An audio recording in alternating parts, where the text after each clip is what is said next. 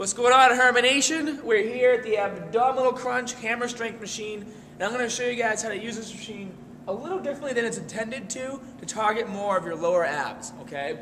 What you want to do is you want to put it on a light weight first. I'm going to put it on 20 pounds, okay?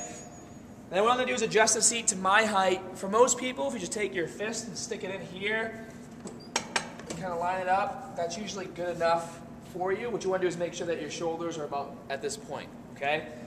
So I'm going to sit down. Now, normally when you do this machine, you're going to put your feet behind the pads. Now, what we're going to do is hold our feet out in front.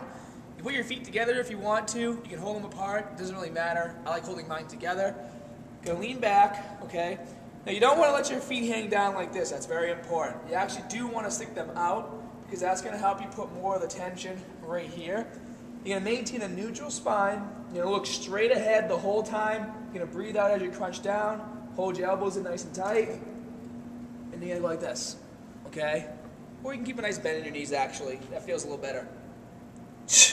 Just don't have them like that. Hold them out a little bit. And now what I'm doing is I'm forcing myself to relax my legs. And by not having them underneath here to create the tension, to pull more weight, it's bringing the energy down to here. Okay? So make sure you give it a shot. A lot of gyms now have this machine. So that's why I like demonstrating it. But this will definitely help you target your lower abs a little more. And as you get stronger, you can do more weight. So, for more great information, feel free to check out more of my videos. And as always, more good stuff coming soon. See you guys.